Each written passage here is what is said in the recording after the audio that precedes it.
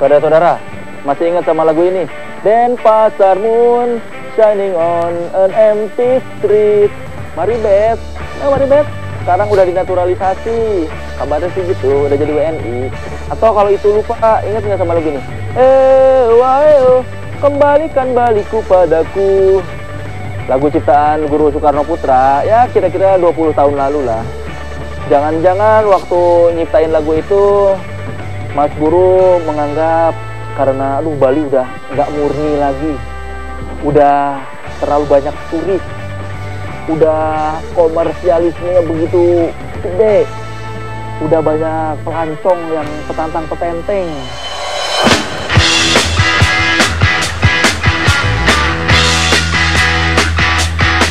Di balik gemerincing dolar dan pesatnya perkembangan pariwisata di Bali, ternyata menyisakan berbagai permasalahan. Salah satu orang Bali yang melihat masalah ini adalah I Gede Ari Astina alias Jering, seorang musisi dan aktivis sosial. Uh, kalau saya lihat di Bali ini uh, saat ini perkembangan pariwisatanya terlalu dipercepat. Uh, jadi semua itu berjalan begitu cepat, instan. Uh, apa kontrol eko, apa uh, kontrol terhadap dampak-dampak jangka panjangnya itu kurang dan ditambah pula dengan mindset uh, kebanyakan orang-orang Bali jadi mindsetnya mentalnya itu tidak di, tidak didesain untuk apa ya untuk permasalahan-permasalahan yang muncul dengan pesatnya per, parus, apa industri pariwisata ini seperti itu kalau saya lihat secara garis besar. Ya, contoh yang paling gampang misalnya dari uh, secara ekonomi gitu. Jadi sekarang aset-aset di Indonesia, maksudnya di Bali khususnya, apalagi di Bali Selatan itu sudah mungkin sudah bisa dibilang persentase yang dimiliki asing lebih banyak daripada persentase yang dimiliki orang oleh, oleh orang lokal sendiri. Itu kan sudah secara nggak langsung itu uh, itu seperti penjajahan ekonomi kan secara nggak langsung. Secara ekonomi kita sudah dijajah. Jadi uh, uang yang dari luar itu masuk ke Bali, terus profit yang didapat dari usaha ini keluar lagi. Jadi orang-orang di sini ya nggak cuma jadi penonton aja.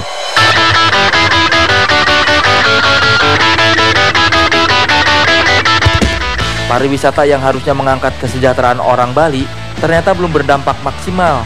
Masih banyak kesenjangan yang terjadi di masyarakat.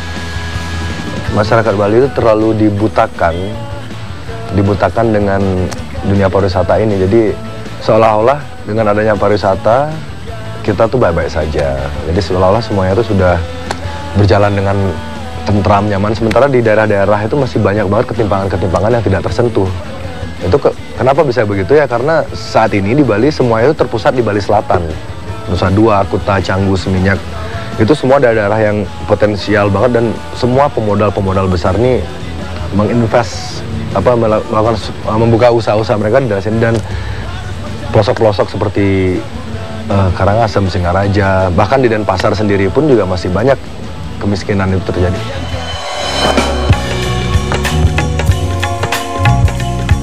Kemiskinan dan tingginya angka anak putus sekolah masih menjadi masalah serius di provinsi ini. Ini juga yang membuat sebuah komunitas anak muda Bali tergerak untuk menjembatani kesenjangan ini. Atas kesadaran bersama, para pemuda Bali ini membuat gerakan yang mereka beri nama Siu Ajak Liu. Uh, kalau Siu Ajak Liu dari namanya dulu, Siu itu berarti seribu, itu pakai bahasa Bali kemudian ajak liu itu bersama banyak. Jadi ide awalnya adalah mengumpulkan uang recehan seribu-seribu setiap orang itu menyisikan seribu-seribu untuk dijadikan beasiswa pendidikan bagi adik asuh yang membutuhkan. Nah, awalnya kita awalnya dari Bali Blogger itu sering mengadakan kegiatan berbagi ngasih pelatihan donor darah dan lain sebagainya tapi intensitasnya kemudian berkurang karena kesibukan banyak teman-teman banyak sibuk akhirnya setelah diskusi bagaimana kita melanjutkan semangat berbagi itu untuk uh, lebih berkelanjutan. Jadi bikin gerakan namanya Sujak Liu dan itu konsepnya adalah membentuk kelompok tadi, jadi 3 sampai 5 orang menyisikan sedikit penghasilannya, kemudian sedikit waktunya sebulan sekali mendampingi adik asuhnya. Setiap satu bulan sekali, Gus Tulang dan teman-temannya menyambangi Wayan, adik asuh mereka.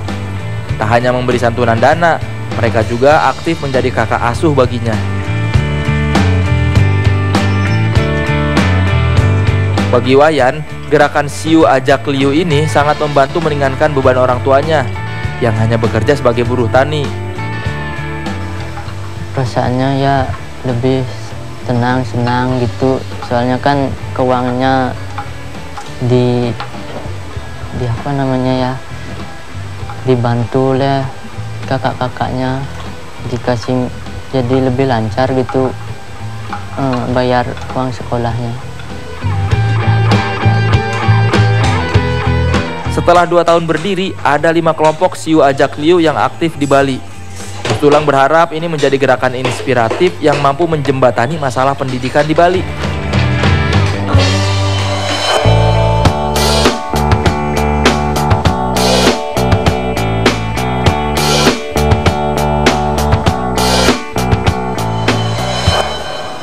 Semakin populer suatu daerah atau semakin disukai suatu daerah, otomatis semakin banyak orang berdatangan ke daerah itu.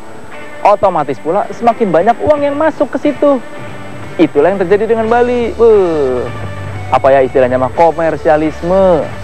Saya mah harapannya semoga warga Bali meskipun banyaknya duit dan banyaknya orang yang datang, komersialisme begitu tinggi, Semoga karakternya tetap terjaga, karakter khas orang Bali yang ngomong bahasa Inggris percaya diri meskipun logatnya tetap logat Bali. Salut saya Maya. Nah, alhamdulillah ya masih disukai sama wisatawan luar negeri Bali sekarang. Meskipun ya ada anggapan bule-bule itu datang ke Bali karena murah meriah dengan budget yang seadanya mereka bisa berfoya-foya atau bersenang-senang di Pulau Dewata. Tapi ngomong-ngomong soal budget, kalau saudara-saudara pengen merasakan nuansa Bali, tapi budgetnya terbatas banget, datang aja ke Taman Mini. Heh. Kayak di Bali kan, ketibu kan dari tadi dipikir saya lagi di Bali. Terima kasih telah menyaksikan karikatur negeri bersama pembawa acara kesayangan Anda, Soleh Solihun. Semoga yang tidak beres jadi beres, yang beres tetap beres. Sampai jumpa minggu depan. Assalamualaikum warahmatullahi wabarakatuh. 了，哎呦！